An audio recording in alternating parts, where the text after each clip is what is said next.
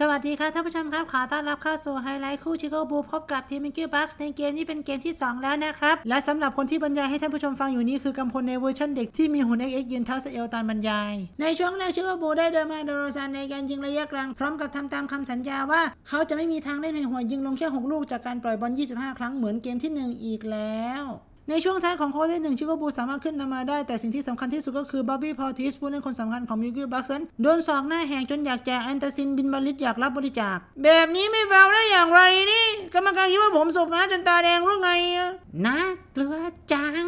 แต่หลังจากนั้นไม่นานก็เกิดช็อตประวัติศาสตร์นั่นก็คือทางด้านของ Giannis Antetokounmpo สามารถข้ามผ่าน Kareem Abdul-Jabbar กลายเป็นผู้เล่นที่สามารถทำแต้มมากที่สุดในประวัติศาสตร์ของทีม Milwaukee Bucks โดยตลอดทั้งเกม Giannis คือผู้เล่นที่มีผลงานดีที่สุดด้วย 33 คะแนน 18 รีบาวด์9แอสซิสต์แม้ขาดอีกแค่ครั้งเดียวเขาก็ทำ triple-double ได้ แต่เกมบาสเกตบอลนั้นไม่ได้มีแต่เรื่องของสถิติ เพราะว่าคนที่มีสถิติแบบกลางๆ ก็สามารถที่จะมี impact กับเกมได้เหมือนกันนั่นก็คือ Alex Carusoนั่นเอง โดยในวันนี้ตลอดทั้งเกม Alex Caruso ยิงทั้งหมด 8 ครั้งแต่ลงเพียงแค่3แต่สิ่งที่สำคัญที่สุดนั่นก็คือเขามีแอสซิสต์ถึง 10 ครั้งเลยทีเดียว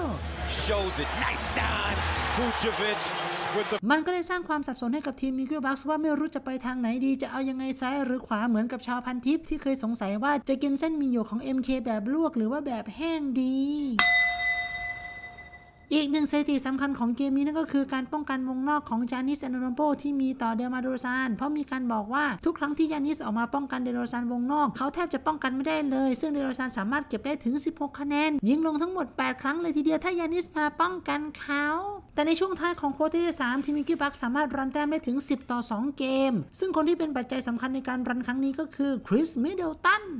สุดยอดเลยเว้ย Middleton ถ้าชนะเกมนี้เดี๋ยวพาไปกิน MK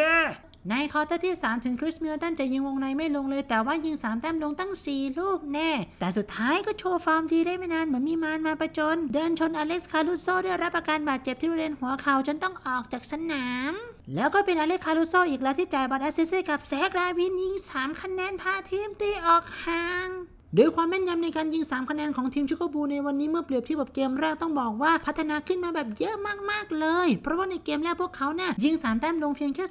18.9%แต่มาในเกมนี้เนี่ยพวกเขายิงลงถึง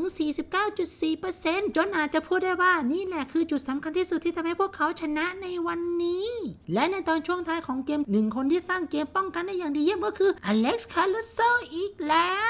Giannis grabs the rebound. Five seconds left. And Offense. offensive foul. Offense. And who is โด it? ยตัวเขาสามารถเรียก offensive foul จาก Giannis Antetokounmpo เรียกเสียงฮือฮาเหมือนน้องเอวาเอฟฟี่มากระบีเลย แล้วสุดท้ายแบบสุดท้ายจริง ๆ แล้วนะ นั่นก็คือลูกวางเลย์อัพสุดนิ่งของ DeMar DeRozan ถึงแม้ว่าทางด้านของ Giannis Antetokounmpo จะรออยู่ใต้ห่วงก็ตามแต่ว่าเขาก็สามารถที่จะเอี้ยวตัวไปทางด้านขวาแล้วก็วางเลย์อัพลงปุ๊บว้าว ทีม Chicago Bulls สามารถเอาชนะไปได้